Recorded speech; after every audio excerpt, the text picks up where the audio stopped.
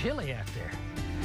Hey, Allie, good morning to you. Time for our breakfast buzz. What are we Good talking about this morning? morning. Where's Well, we're talking about haunted houses. Friday, we're right? actually here in a little bit. You'll find out we'll be live from Magic Springs, right now known as Magic Screams. So I want to know where are viewers going for Halloween? What are they doing with the haunted houses? And this is what people are saying. So far, I've got a response with the House of Madness, the Allen House, an old haunted warehouse, and the Fear Factory. Matt, do you have a favorite haunted house? um no, I'm in a house with a teenage girl. That's about as scary Yeah, as yeah, it uh, can be. I am the biggest chicken in the world, so I really don't do the haunted house thing.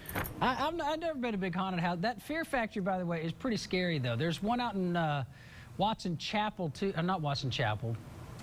Uh, where is it? Oh, Holland Chapel. Oh, It's okay. kind of a hereafter house, they call it. That's semi-scary, but it's got a, uh positive message to it. But yeah, I don't, I don't, I don't do scary. If it has the word scary and haunted, I'm probably not going to be there. Yeah. But I am going to get out of here. I'm going to follow this out the morning. I'll talk to you later. Teenage girls are scary enough, Al. Yeah. All right, thank you. All right, 517 is our time. Let's